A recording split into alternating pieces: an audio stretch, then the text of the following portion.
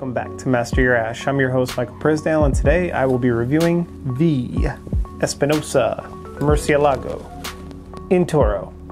Box pressed 6x52 ring gauge cigar. And this is a, has a really pretty shimmery band to it, really elegant, kind of fine box press to it and it is an uber dark chocolate wrapper with some really nice minerality located on the actual wrapper leaf itself. The reflection and the shimmer from that Espinosa bat band for the Murcielago, really pretty. Overall, just a beautiful looking cigar.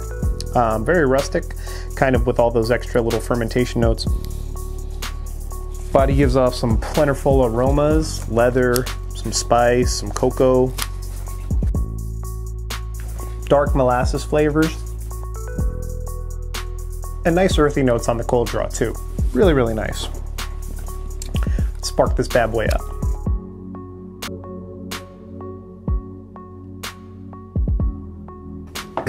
really nice. So a little backstory on the Murcielago. Originally, this was released in 2009 in collaboration with My Father Cigars. That's the factory that originally produced this particular blend for Espinosa cigars. Since then, the blend was lost, and AJ Fernandez and Erik Espinosa got together and kind of recreated what they say is a better version of that 2009 blend from the My Father Cigar Factory. So this is in collaboration with AJ Fernandez, Erik Espinosa, of course, for Espinosa cigars. It is available in three other vitolas, a Robusto, a Lancero, and a Rabito, which is from what I saw online, looks like a Lonsdale shape. It's about 46 by six and a half. So very traditional kind of sizes to come out with a line. And this kind of comes right along the same time as the Batman movie, which I have not seen yet. So leave me a comment below if you have. Let me know if I should watch it. There's a little bit of pepper to the retrohale, nothing stinging, but yet very pleasing. Just to let you know that it's there and kind of touch you on the shoulder.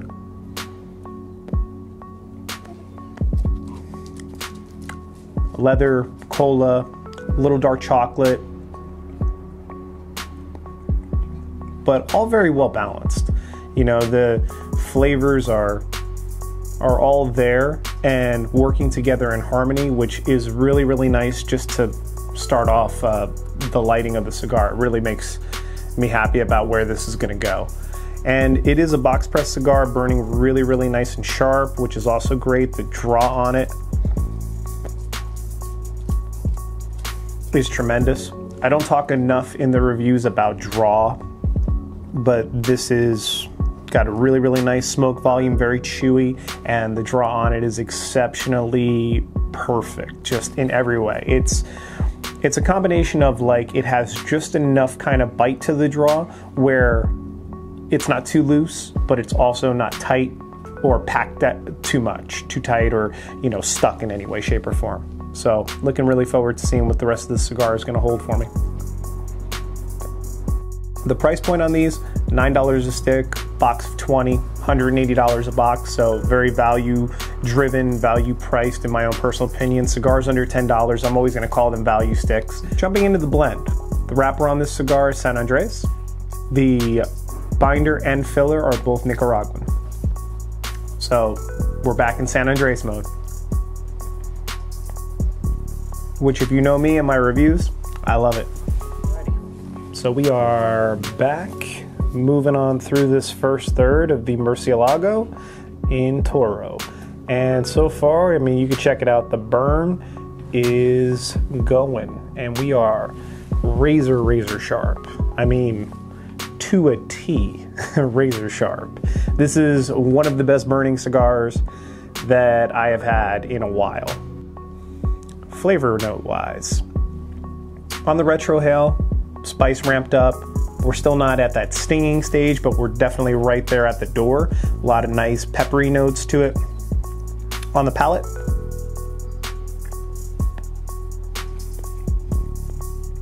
almost a cookie dough kind of flavor. Um, definitely not nutty at all, more dark molasses, dark rum esque in that kind of like rich demerara sugary kind of way. Not that the cigar is sweet or has a sweet tip, but kind of like the easiest way for me to describe it is with demerara sugar because it's like that gritty kind of dark sugar that you you have. You know, you you have like brown sugar and then you have like sugar in the raw sugar, and that's that debonair. Uh, that's debonair. That's that demerara like ref, like uber turbinado style sugar that's kind of gritty. You can't really fully dissolve it all. There's a little bit left at the bottom that you kind of chew on after you get done with a little espresso with some of that sugar in the sugar in the raw. That's that's what that flavor is. Right on through the second third of the Espinosa Murcielago. Looking really good. Of course, as per usual, I hit the uh, stop record button and then the ash just elegantly falls off. Fortunately, again, not in my lap, which is always nice. But um, so far, moving through the second third, Moving through the second third, there have been some nice little hints of floral kind of citrus notes. So little touch of like jasmine kind of florality, maybe even a little kind of uh, juniper, almost pine, right? So we have reached the conclusion of the Espinosa Murcielago. We are in the final third and just finishing up this stick. Some final notes with this particular cigar, I really enjoyed all of the wonderful kind of nuanced flavors of chocolate, coffee. That floral component that kind of came in in the second third was gone by the final third, and it never really came back in the way that it appeared in the second third. So that was fun, just to kind of have some junipery kind of pine, and then also kind of like that jasmine florality that was just really tasty. As far as pairings go, I think that even though this is Mexican San Andres in its wrapper, Nicaraguan binder and filler, which seems like a common blend nowadays, but it's very unique. And with that little hint of florality, I feel like it kind of leaves the door open for a lot of great pairings. You could go gin and you can go with gin cocktails on this. I really like the fact that there's almost in the second third, not just the florality, but this concentration of coffee, leather, and some chocolate. And I feel like uh, for this particular stick, what I would really like to have would be like a nice semi big red wine. I kind of want something with a little jammy kind of fruit component to it. And then I also want that acidity from the tannins on the red wine to kind of complement that sweetness that I got when I mentioned that there was like almost a demerara type sugar to it. So I think that Red wine would be a great pairing with this, specifically more of like your kind of spicier uh, Riojas of the world, or even some Merlots Cabernets you can kind of mix in there depending upon the intensity and the body of those red wines. I feel like if you wanted to, you could go as far as to doing kind of like a New York sour, something along the lines of the Nevada sour that we did with the Frey Ranch when we paired the Illusione Garagiste to it. I think that that would be a really nice kind of um, interesting pairing with the egg white on top, the red wine, and some whiskey just to kind of round out with some tannins. So tannins, tannins, tannins, tannins to match up with kind of that, that sweet Mexican San Andres wrapper that they have in this blend. But overall, $9 a stick. This is definitely a box worthy cigar if you like something that's kind of medium to full body and also um, has that Mexican San Andres wrapper that gives you such nice, rich, complex flavors like this one does.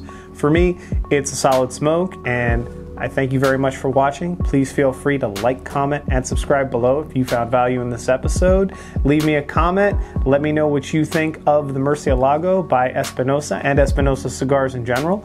And I will catch you again for another cigar review.